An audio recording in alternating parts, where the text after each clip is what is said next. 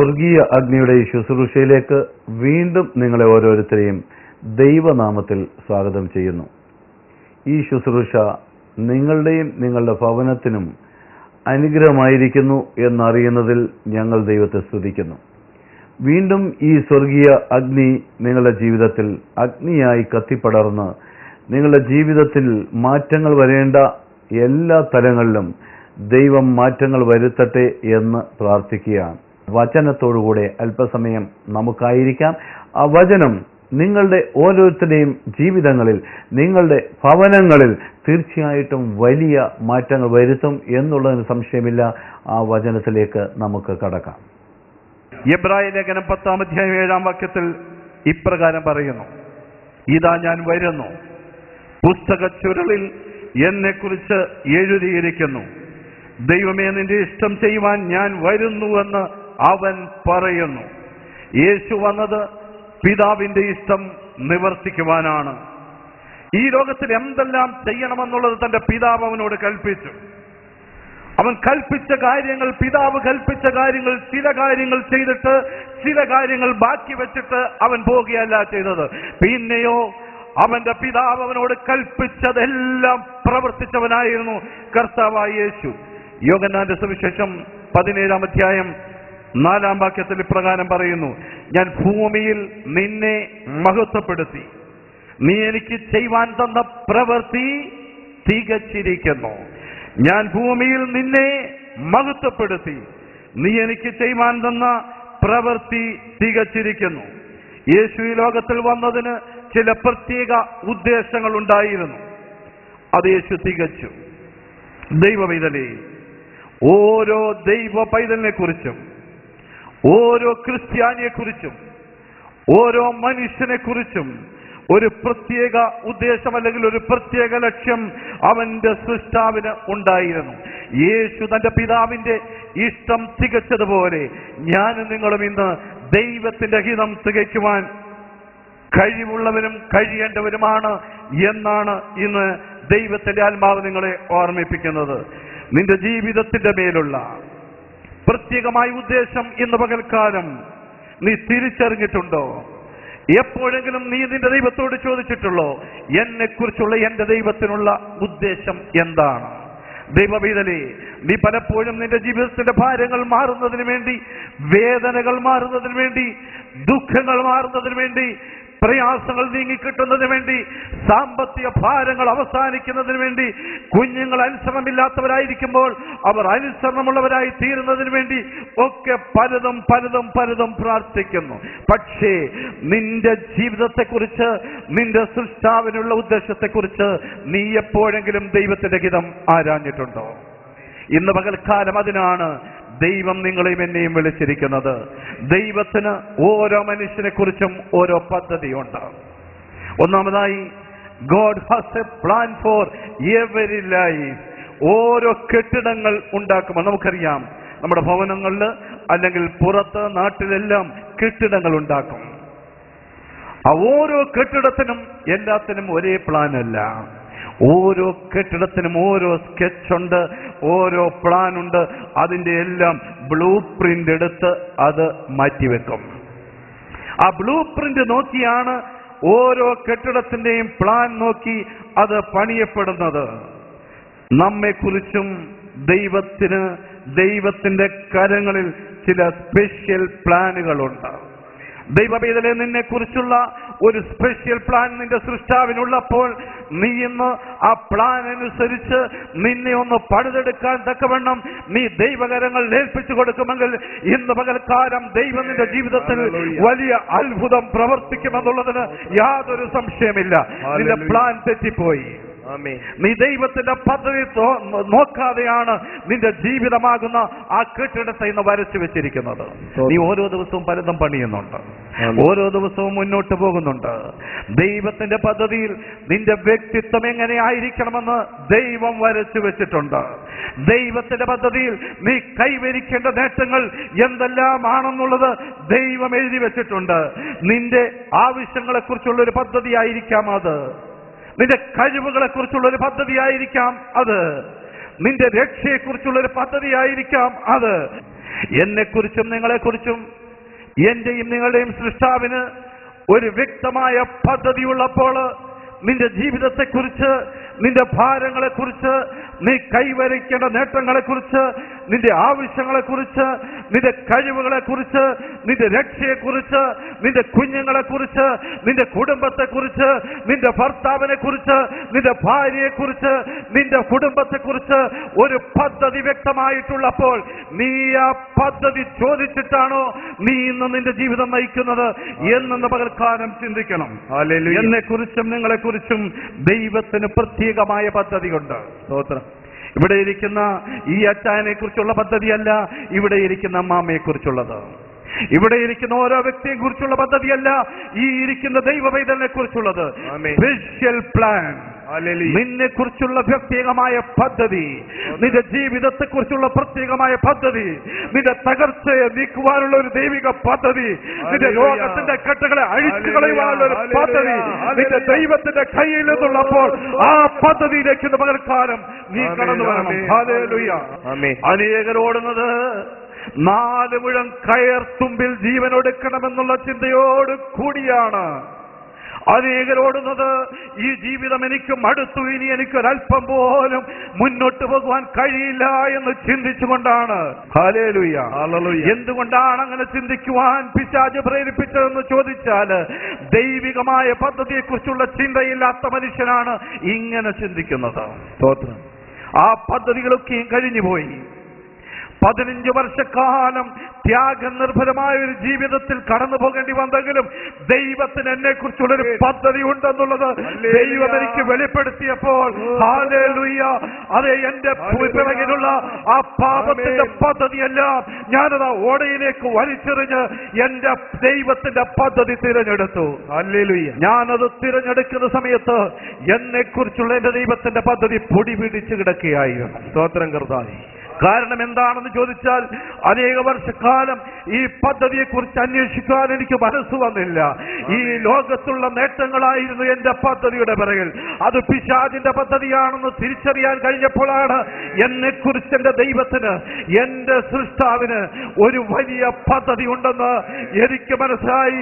ഞാനത് തിരഞ്ഞെടുക്കാൻ ചെന്നപ്പോൾ പൊടി പിടിച്ചു കിടന്നൊരു പദ്ധതിയെ കർത്താവെടുത്ത് എന്റെ കയ്യിൽ തന്നു. നിങ്ങളെ കുറിച്ചും ഒരു പദ്ധതി ദൈവത്തിന്റെ കയ്യിലുണ്ട്. അത് അത് ദൈവവൈതലേ നിന്റെ തകർച്ചയുടെ പദ്ധതിയല്ല അത്. അത് നിന്റെ ദൈവം നിനക്ക് വേണ്ടിയുള്ള ഒരു രക്ഷയുടെ പദ്ധതിയാണ്. അത് രണ്ടായിരം വർഷങ്ങൾക്ക് മുൻപ്. കാൽവരിയുടെ കൊലക്കളത്തിൽ അതേ നീ പിറക്കുന്നതിന് മുൻപ് നീ അമ്മയുടെ ഗർഭത്തിൽ ഉരുവാകുന്നതിന് മുൻപ് നിന്നെ കുറിച്ചുള്ള ഒരു ശ്രേഷ്ഠമായ പദ്ധതി നിന്റെ ദൈവത്തിന്റെ കയ്യിലുണ്ടായിരുന്നു. ആ പദ്ധതിയെ കുറിച്ച് ഇന്ന് നീ ചിന്തിക്കണം. സ്തോത്രം ആ പദ്ധതിയെ കുറിച്ച് നീ ഒന്ന് ചിന്തിക്കണം. ദൈവത്തിന്റെ പരിശുദ്ധാത്മാവ് നിന്നെ ഓർമ്മിപ്പിക്കുന്നതാണ്.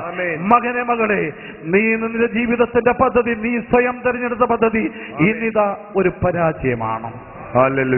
നിന്റെ ജീവിതത്തിന്റെ പദ്ധതി ഒരു പരാജയമായി നീ മുൻപോട്ട് പോകുവാൻ കഴിയാതെ നിൽക്കുമ്പോൾ ദൈവത്തിന്റെ ഒരു പദ്ധതി ദൈവം നിനക്ക് നൽകുകയാണ്.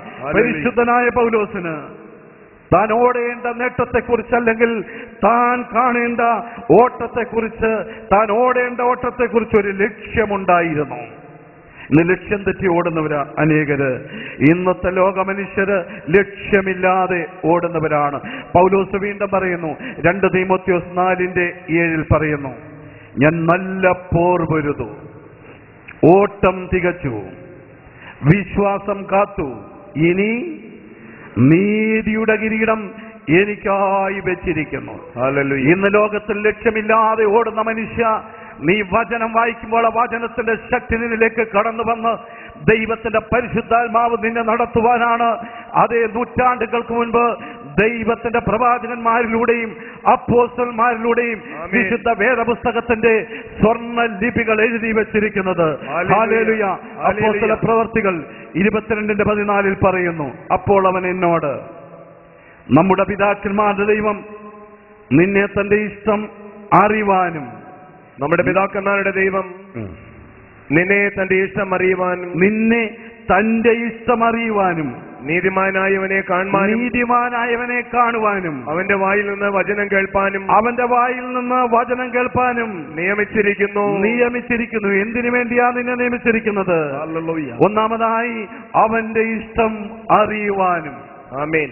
രണ്ടാമതായി നീതിമാനായവനെ കാണുവാനും. മൂന്നാമതായി അവന്റെ വായിൽ നിന്ന് വചനം കേൾപ്പാനും നിയമിച്ചിരിക്കുന്നു. ഡെമോസ്കസിന്റെ പടിവാതുക്കൾ വീണുപോയ അന്ധനായ ശവലിനെ കുറിച്ച് ഇരുപത്തിരണ്ടിന്റെ പതിനൊന്നിൽ പറയുന്നു ആ വെളിച്ചത്തിന്റെ തേജസ് ഹേതുവായിട്ട് കണ്ണു കാണായികയാൽ കൂടെയുള്ളവർ എന്നെ കൈക്ക് പിടിച്ചു നടത്തി. എന്തുകൊണ്ടാ കൈക്ക് പിടിച്ചു നടത്തേണ്ടി വന്നത്? ആ വെളിച്ചത്തിന്റെ തേജസ് ഹേതുവായിട്ടാണ് ഡെമോസ്കോസിലെത്തിയ പൗലോസിന്റെ അടുക്കൽ വന്ന അനന്യാസ് എന്നൊരു മനുഷ്യൻ പറയുകയാണ് സഹോദരനായ ശൗലേ നീ കാഴ്ച പ്രാപിക്കുക. ആരെയായി ഈ അനന്യാസ് സഹോദര എന്ന് വിളിക്കുന്നത്? ആരെയാ വിളിച്ചത്? ശൗലിനെ. ഈ ശൗലാരായിരുന്നു അനന്യാസ് ദൈവഭാഗത്തുള്ളൊരു നീതിമാനായ മനുഷ്യനാ. അപ്പൊ അനന്യാസ് കാണുന്നത് യേശു ക്രിസ്തുവിനെ അനുഗമിക്കുവാൻ ശ്രമിച്ചവരെ അവരെ പീഡിപ്പിക്കുവാൻ അനുവാദ പത്രവും വാങ്ങിക്കൊണ്ട് ഉച്ചവെയിലിന്റെ ചൂട് അത് വളരെ ശക്തമായി കടന്നു വന്നപ്പോൾ അതിനേക്കാൾ വലിയൊരു ചൂട് അവനെ കയറി പിടിച്ചത് മനസ്സിലാക്കിക്കൊണ്ട് തളർന്നു വീണുപോയ ആ ശത്രുവായ ശൗലിനെയാണ് അനന്യാസ് വന്ന് വിളിക്കുന്നത്. അല്ലയോ സഹോദര അല്ലയോ സഹോദരനായ സൗലി കാഴ്ച പ്രാപിക്കുക. ഇന്ന് ഇന്നത്തെ ക്രിസ്ത്യാനികൾക്ക് ദഹിക്കാത്തൊരു കാര്യമായത് കാരണം എന്നെയും നിങ്ങളെയും സ്നേഹിക്കാത്തവരെ സ്നേഹിക്കുവാൻ കഴിയാതിരിക്കുന്ന ഒരു സമൂഹത്തിലാണ് നാം ജീവിക്കുന്നത്. നിന്നോട് ശത്രുത പുലർത്തുന്നവനോട് അതിനേക്കാൾ വലിയ ശത്രുത പുലർത്ത് പുലർത്തണമെന്ന് ആഗ്രഹിക്കുന്നവരാണ് ഞാനും നിങ്ങളും. നമ്മുടെ ജീവിതത്തിന്റെ പല നന്മകളെയും കവർന്നെടുത്തവരെ എപ്പോൾ എവിടെ വെച്ച് മുട്ടുമടക്കാമെന്ന് ചിന്തിച്ചുകൊണ്ട് ഇപ്പോൾ ഈ പ്രാർത്ഥനയിൽ കടന്നു വന്നിരിക്കുന്ന ചില വ്യക്തികളുണ്ടെന്ന് ദൈവാത്മാവ് പറയുന്നു. നീ നിന്റെ ശത്രുവായി കരുതുന്നവൻ. അവൻ നിന്റെ സഹോദരനാണെന്ന് മനസ്സിലാക്കുമ്പോൾ അവൻ അതേ അതേ സംഹാരദൂതന്റെ പിടിയിലാണ്. അവനെന്ന് മനസ്സിലാക്കുമ്പോൾ അവൻ പിശാജിന്റെ പിടിയിലാണെന്ന് മനസ്സിലാക്കുമ്പോൾ നീ അവനെ അതിൽ നിന്ന് മോചിപ്പിക്കുവാൻ കടമയുള്ള ഒരു ക്രിസ്ത്യാനിയാണ് ഒരു ദൈവ പൈതലാണ് എന്ന് ഇന്ന് പകൽക്കാലം നീ മനസ്സിലാക്കണം. ഒരു ദൈവ പൈതലിനെ സംബന്ധിച്ചിടത്തോളം അവന് ശത്രു പിശാജ് മാത്രമേ ഉള്ളൂ. ഹാലേലിയ. ഈ ലോകത്തുള്ള ഒരു വ്യക്തിയും അവന്റെ ശത്രുവല്ല.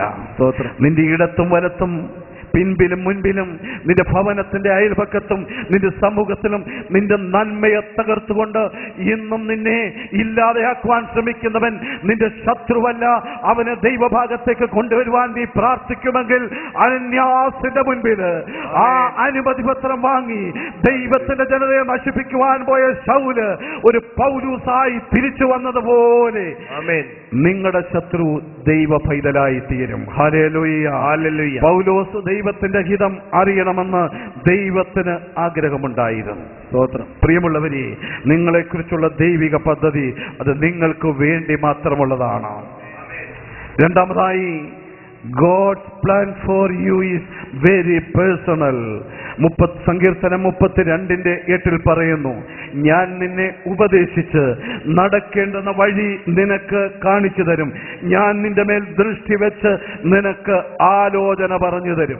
ഹാലേലിയ. നിങ്ങളെക്കുറിച്ചും എന്നെക്കുറിച്ചും ദൈവത്തിന് പ്രത്യേകമായ ഒരു പദ്ധതി അതൊരു വിപുലമായ പദ്ധതിയാണ്. സങ്കീർത്തനം മുപ്പത്തി ഏഴിന്റെ ഇരുപത്തി മൂന്നിൽ പറയുന്നു ഒരു മനുഷ്യന്റെ വഴിയിൽ പ്രസാദം തോന്നിയാൽ യഹോവ അവന്റെ ഗമനം സ്ഥിരമാക്കുന്നു. ഇന്ന് ദൈവവേദലെ നിങ്ങളെക്കുറിച്ചും എന്നെക്കുറിച്ചും ദൈവത്തിനുള്ള പദ്ധതി അതിനനുസൃതമായി മുന്നോട്ട് വരുമ്പോൾ ദൈവത്തിന് നിങ്ങളെക്കുറിച്ച് ഇന്ന് പകൽക്കാലം പ്രസാദം തോന്നുവാൻ പോവുകയാണ്. ഹാലേലുയ ഒരുമിച്ച് നിന്നെക്കുറിച്ചുള്ള പദ്ധതി നിന്നെ അറിയിക്കത്തില്ല. സ്റ്റെപ്പ് ബൈ സ്റ്റെപ്പായി നിന്റെ ജീവിതത്തെക്കുറിച്ചുള്ള പദ്ധതി നിന്നെ അറിയിക്കാം. ഹാലേലിയ ദൈവത്തിന്റെ പദ്ധതി.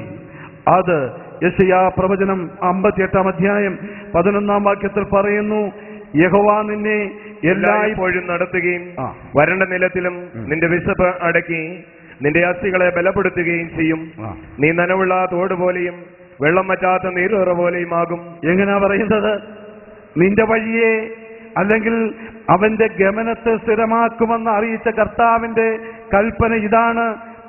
യഹോവ നിന്നെ എല്ലായ്പ്പോഴും നടത്തുകയും വരണ്ട അതായത് ഗോഡ്സ് പ്ലാൻ ഈസ് കണ്ടിന്യൂസ്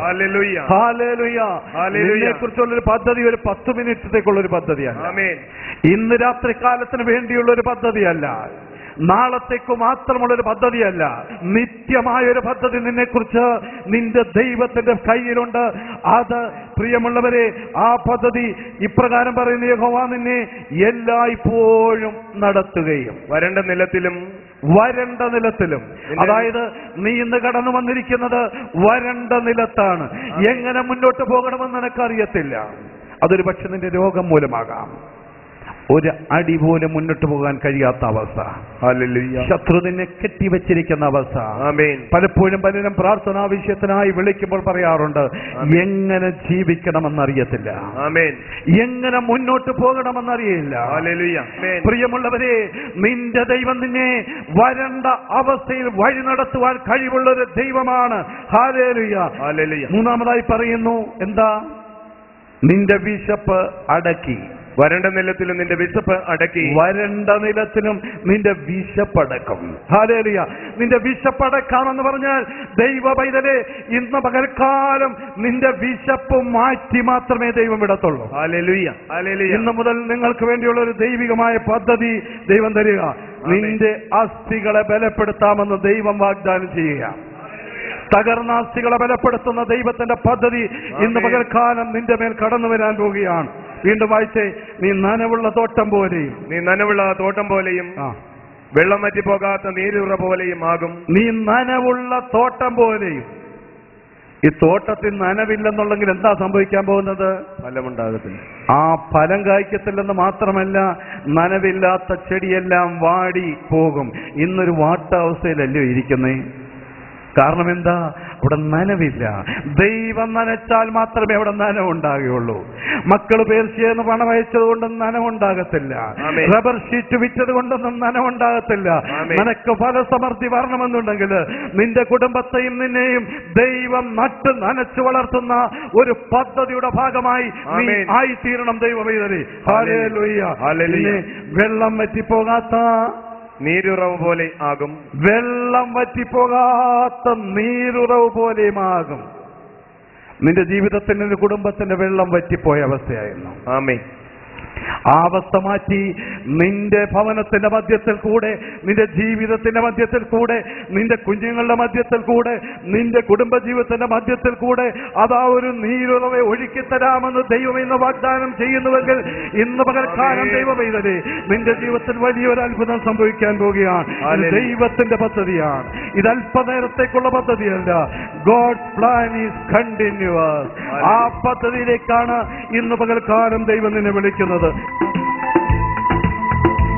സ്വർഗീയ പിതാവേ നിൻ തിരുഹിതം സ്വർഗത്തിലെ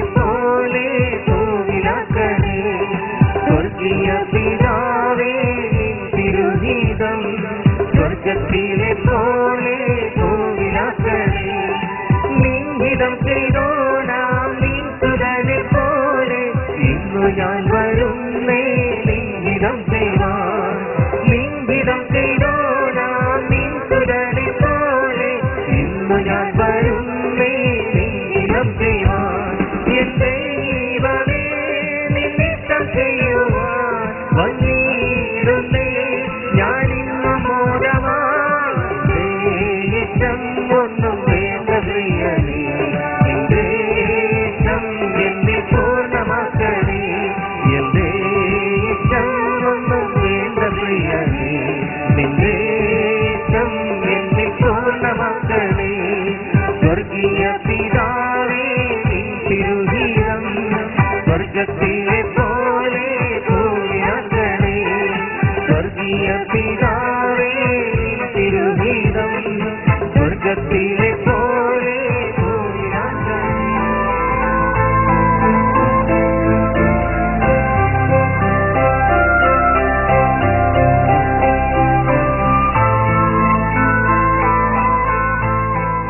കഴിഞ്ഞ ജൂൺ ജൂൺ മോൻ കോളേജിൽ പോയപ്പം കോളേജിൽ വെച്ചൊരു നെഞ്ചുവേദന ഉണ്ടാകുകയും ബ്ലഡ് ഛർദ്ദിക്കുകയും ചെയ്ത്. ഞങ്ങൾ ഡോക്ടറെ കാണിച്ച് എല്ലാ ചെക്കപ്പ് നടത്തി മരുന്ന് കഴിച്ച് മൂന്ന് ആഴ്ച കഴിഞ്ഞിട്ട് വീണ്ടും അതുപോലെ ഉണ്ടായി. പിന്നെയും ഞങ്ങൾ ഡോക്ടറെ കാണിക്കുകയും ചെക്കപ്പ് നടത്തുകയും ഒരു കുഴപ്പവും ഇല്ല എന്നാണ് ഡോക്ടർ പറയുന്നത്. അത് ഞങ്ങൾ വീട്ടിൽ കൊണ്ടുവന്ന് തിരുമേനി രാത്രി പതിനൊന്ന് മണി കഴിയുമ്പോൾ ഞാൻ വിളിച്ച്. അപ്പോൾ എനിക്ക് കിട്ടിയില്ല. തിരിച്ച് പതിനൊന്നര ആയപ്പം തിരുമേനി അങ്ങോട്ട് വിളിച്ച് സംസാരിച്ച് ചോദിച്ചു എന്താണ്? അപ്പം ഞാൻ ഇതുപോലെ ഇതുപോലെയാണ് മോൻ കാര്യം പറഞ്ഞു. അത് മുമ്പ് എന്നോട് പറയും എനിക്ക് ജീവിക്കാനേ ഇഷ്ടമല്ല. എനിക്ക് ഒറ്റയ്ക്ക് ഇരിക്കണം. എനിക്ക് എന്നെ എന്റെ അടുത്ത് ആരും വരരുതെന്ന് ഇങ്ങനെ പറഞ്ഞ് കരയും ഞാൻ ആർക്ക് വേണ്ടി ജീവിക്കുന്ന? എനിക്ക് ജീവിക്കാൻ ഇഷ്ടമല്ല. ഞാൻ മരിക്കുമെന്ന്. അപ്പോഴാണ് ഞാൻ തിരുമേനി എടുത്ത് കാര്യം പറഞ്ഞു ഇങ്ങനെ തിരുമേനി മോൻ പറയുന്നു. ഒന്ന് തിരുമേനി തിരുമേനി പറഞ്ഞു സാത്താന്റെ പോരാട്ടമാണ് നമുക്ക് പ്രാർത്ഥിക്കാമെന്ന് തിരുമേനി ശക്തമായിട്ട് പ്രാർത്ഥിച്ചു. അവൻ രാത്രി കിടന്ന് ഉറങ്ങി രാവിലെ അവന്റെ മുഖം മുഖം നോക്കുമ്പോൾ നല്ല അന്തരീക്ഷമാണ്. ഇരുണ്ട ഒരു അവസ്ഥയാണ് അവന്റെ മുഖത്ത് കാണാൻ. ഉച്ചയാകുമ്പോൾ എന്റെ അടുത്ത് പറഞ്ഞു എനിക്ക് മനസ്സിന് നല്ല സന്തോഷമായിരിക്കും അമ്മ അങ്ങനെ തിരുമേനി പ്രാർത്ഥിച്ച്. പിന്നെ പിറ്റ്- പിറ്റേന്ന് തിരുമേനി അവനെങ്കിൽ കൊണ്ടുവരാൻ പറഞ്ഞ്. കൊണ്ടുവന്ന് ഞങ്ങൾ തിരുമേനി ശക്തമായി പ്രാർത്ഥിച്ച് പിന്നെ അവൻ അങ്ങനെ ഒരു വാക്ക് ഇതുവരെയും പറഞ്ഞിട്ടും ഇല്ല അവന് നല്ല കവിജ്ഞമുണ്ട് ദൈവനാമത്തിന് മാത്രം ഉണ്ടായി എന്റെ മകളെ കുഞ്ഞാണിത്. രണ്ടേകാൽ വയസ്സ് തൊട്ട് ഞാൻ ചെത്തുമായിരുന്നു അതിന് ആൽബമിന്റെ ആൽബമിൻ ഉണ്ടായിരുന്നു. ആൽബമിന്റെ അളവ് വളരെ കൂടുതലായിരുന്നു. ഞാനൊരു വ്യക്തിയിൽ കൂടെയാണ് തിരുമേനിയുടെ വിവരം അറിഞ്ഞ് തിരുമേനിയുടെ ഫോൺ നമ്പർ കിട്ടി. അതിനെ തിരുമേനിയായിട്ട് വിളിച്ച് സംസാരിച്ച് ഇവിടെ വന്ന് പ്രാർത്ഥിച്ച് ഇപ്പൊ മൂന്ന് മാസം കഴിഞ്ഞ് മരുന്ന് നിർത്തിയിട്ട്. ഇതുവരെ മരുന്ന് എടുത്തിട്ടില്ല. ഇപ്പോൾ മൂന്ന് മാസമായിട്ട് മരുന്ന് ഉപയോഗിക്കുന്നില്ല. രണ്ടേകാൽ വയസ്സ് തൊട്ട് ഈ കുഞ്ഞിന് ആൽബമിന്റെ അളവ് കൂടുതലായിരുന്നതാണ്. ഇപ്പോൾ മൂന്ന് മാസമായിട്ട് മരുന്ന് ഉപയോഗിക്കുന്നില്ല. ഇപ്പോൾ ഇടയ്ക്ക് ടെസ്റ്റ് നടത്തിയോ? ടെസ്റ്റ് നടത്തി? കുഴപ്പമൊന്നുമില്ല. എന്നാ നടത്തി? ഇന്നലെ ശനിയാഴ്ച നടത്തി. ശനിയാഴ്ച ടെസ്റ്റ് നടത്തി. ഇത് കുഞ്ഞിന് നോർമൽ ആയിരിക്കുന്നു. ആരാ ഈ നേരത്തെ ഒരു പ്രാവശ്യം സാക്ഷ്യം പറഞ്ഞാണ് എന്നാൽ വീണ്ടും ഇന്നലെ നടത്തിയ ടെസ്റ്റിൽ വീണ്ടും ഇത് നോർമലായി കണ്ടതിൽ വീണ്ടും സാക്ഷ്യം പറയുകയാണ് ആ ദൈവത്തെ നമുക്ക് മഹത്വപ്പെടുത്താം.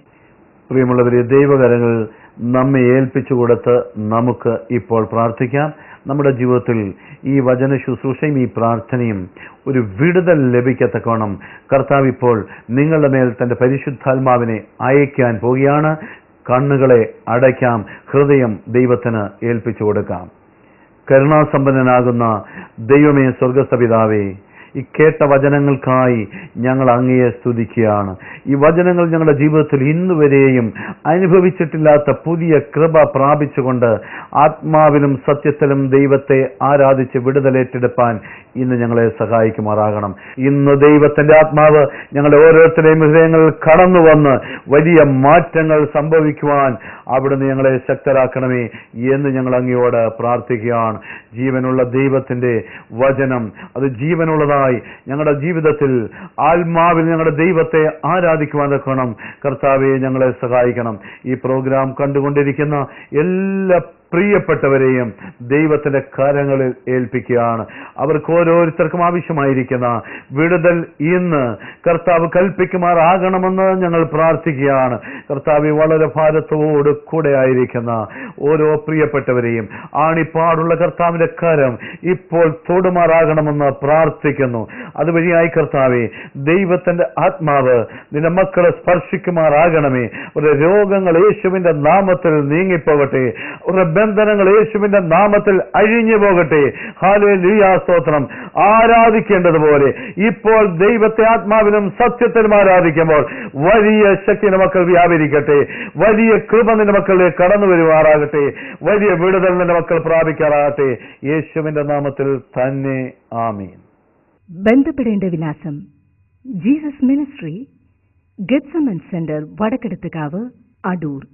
Phone zero four seven three Four double two seven two six nine, Mobile 89431 26437. Email Jesus Ministry India at gmail.com.